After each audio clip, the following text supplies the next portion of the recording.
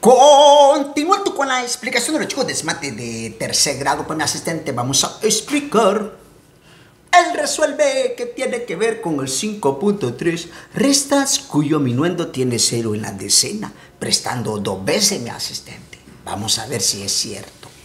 Ay, dice de que cuyo minuendo, ah, se está refiriendo al primero, al primero, al primero, al primero. Ay, dice de que tiene cero en la decena, veamos. Ah, aquí tiene cero en la decena. Cero en la decena. Cero en la decena. Y cero en la decena. No, mi asistente, hasta la unidad aquí tiene cero este chico, mira. Pero bien, eh, donde manda capitán no manda marinero. Y si el tema dice así, pues démosle, mi asistente. ¿Qué te parece?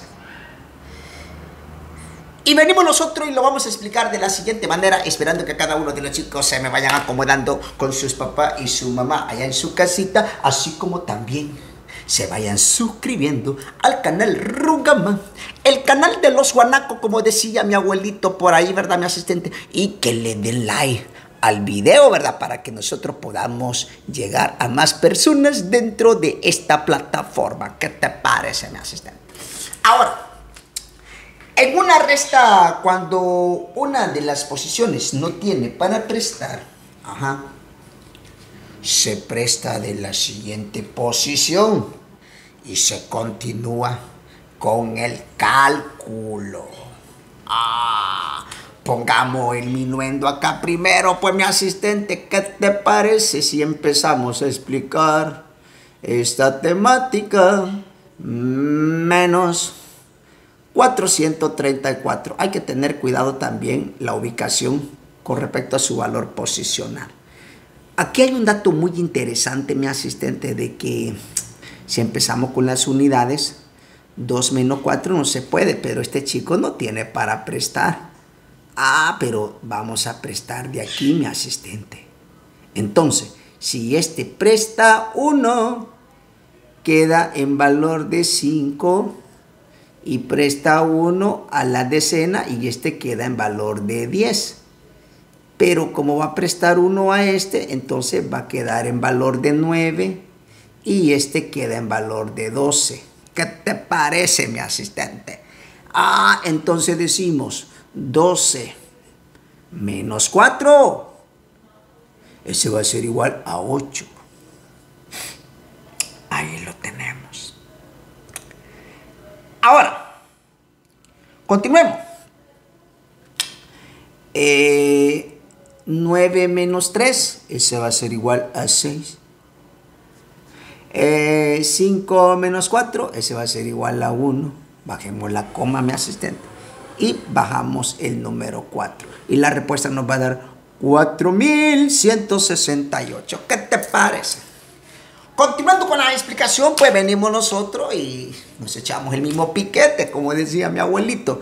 Eh, vamos a volver a poner lo que es el 5400 menos 1254. Ahora empezamos con las unidades. Pero nos vamos a dar cuenta, mi asistente, de que 0 menos 4 no se puede. Entonces tenemos que prestar desde aquí. Pero ¿qué pasa? Este no tiene para prestar. Ah, entonces vamos a prestar desde aquí 1 y quedaría en valor de 3. Entonces como presta 1, acá en la decena quedaría en valor de 10. Pero como de la decena hay que prestar, entonces dijimos que quedó en valor de 10. Prestando 1, entonces queda en valor de 9 y este queda en valor de 10 porque le prestaron 1. Así de fácil. Así de chiche, como decía mi abuelito al buen salvadoreño, dicho de otra forma. Está fácil, pues. Luego decimos 10 menos 4, ese va a ser igual a 6. Luego 9 menos 5, ese va a ser igual a 4.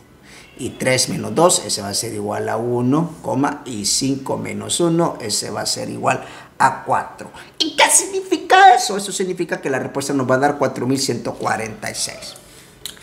Ahora, En el siguiente, mi asistente, bueno, pues tenemos 2202 menos 76. Y vamos a empezar con las unidades, pero 2 menos 6 no se puede. Entonces tenemos que prestar de la, decena, de la decena, pero no se puede porque este chico no tiene nada, mi asistente. Es cero. Entonces, desde la centena vamos a prestar 1 y este queda en valor de 1 porque presta 1. Entonces, si le prestan 1, este quedaría en valor de 10. Pero como vamos a prestar desde aquí, para que este quede en valor de 12 y este quedaría en valor de 9. Entonces, mi asistente, no hay que perder de vista eso. Luego decimos 12 eh, menos 6, ese va a ser igual a 6. Luego decimos acá 9 menos 7, ese va a ser igual a, a 2 y este 1 solamente lo bajamos, así como también el 2.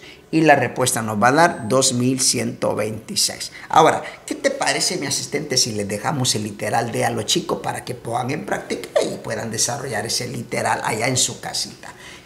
Terminemos la temática con el numeral 2, pues mi asistente, ¿qué te parece? Un camión transporta eh, 8.701 libros en una escuela deja 423. Y la pregunta que nos hacen es, ¿cuántos libros le quedan en el camión? Para contestar esa preguntita, mi asistente, el planteamiento operacional sería a que nosotros digamos, los 8.701, lo que transporta el camión, le vamos a restar que lo que dejó en una escuela, que sería 423. Y de esta operación nosotros estaríamos contestando de cuántos libros le quedan en el camión.